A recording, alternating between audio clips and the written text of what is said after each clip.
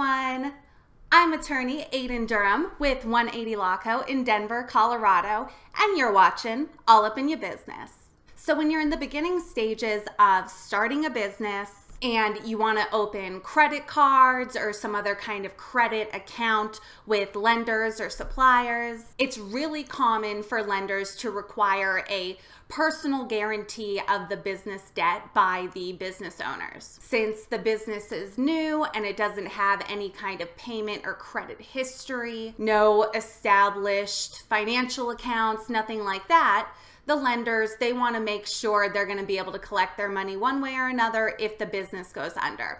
So the personal guarantee is often required. But as your business grows and your credit needs go up, you'll want to be able to demonstrate to lenders that your business can carry that burden of the debt and that they shouldn't look to the own individual credit worthiness to determine if they should lend to the business. And so to do that, it's important to establish business credit, and that's what we're going to talk about today on All Up in Your Business. Before we get into it, please be sure to like, subscribe, and share. And don't forget to check the description for some links to some freebie uh, downloadable guides and checklists and stuff like that, too. All right, so credit for your business. Why does it matter? Ideally, your credit would be completely separate from the business credit so that changes to one won't impact the other. If you make a few mistakes with your personal finances or your personal credit, hey, it's okay. We have all been there. It shouldn't affect your business credit and vice versa.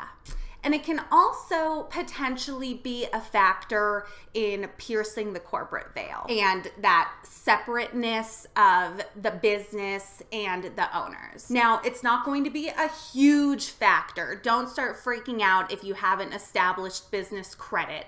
That one little thing on its own most likely isn't going to be enough to cause someone to pierce the corporate veil. But being able to demonstrate that the business has an established credit history that's unattached and completely unrelated to your own personal credit that could potentially uh, be a factor that weighs in your favor one day. So, how do you start to establish and build credit for your business? Definitely the first step to establishing and maintaining good credit for your business is to start with your personal credit because, like I said, in the beginning, it's not totally uncommon for your personal credit to be looked at and scrutinized. So, if your personal credit is bad, if you have poor payment history, if you have negative things reported on your credit report, do what you can to fix those and improve your personal credit while you're starting your business and working on your business credit too.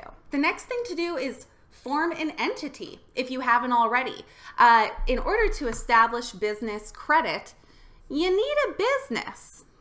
If you're operating your business as a sole proprietor or as a general partnership, then all of the debt of the business is the owner's debt anyway. And there's really not a whole lot of ways around that. So if you haven't already done so, uh, set up an LLC or a corporation, some separate entity that can begin establishing its own credit. Next, you want to make sure you get an EIN for your business.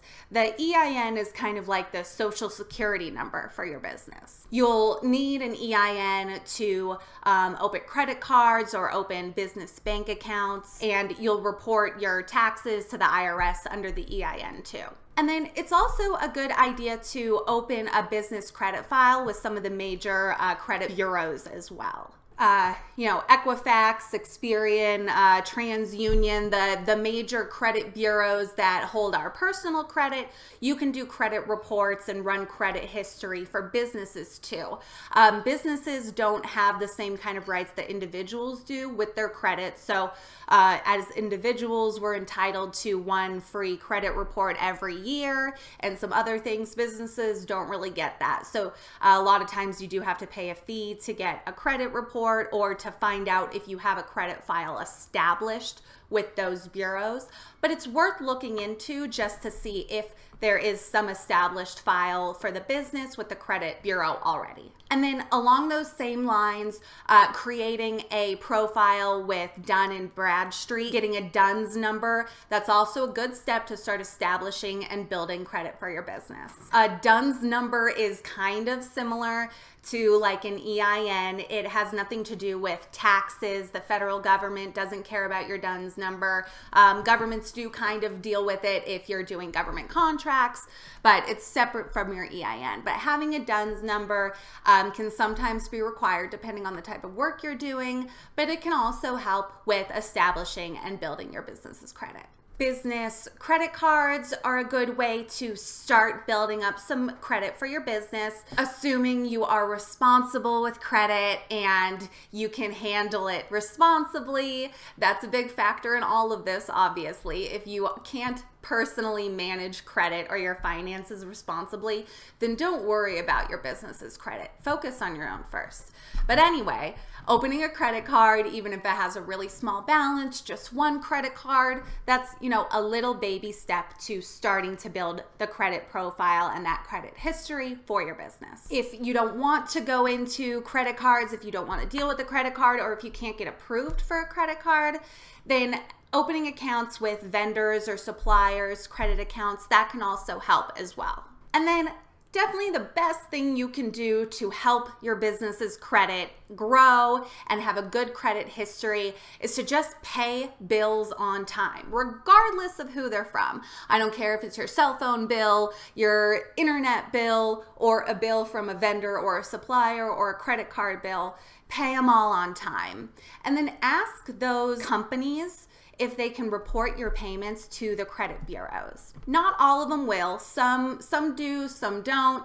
You can look for credit cards specifically that do report to uh, Dun and Bradstreet or to credit reporting bureaus, or you can ask your vendor suppliers if they will report your payment history too. But having that good payment history, even if it's not directly tied to a credit account, that can be a really great way to start that process of building up your credit history for your business. And then, of course, like, why do we even care about business credit if you're not interested in getting loans, if you don't need to utilize debt for your business, then maybe credit's not a big deal. If you're in a position where you don't need to rely on uh, credit from suppliers, if you have enough liquid cash to pay for things up front, then debt doesn't matter and you don't need to deal with it. But it's really common in business, especially as the business grows, to leverage debt in order to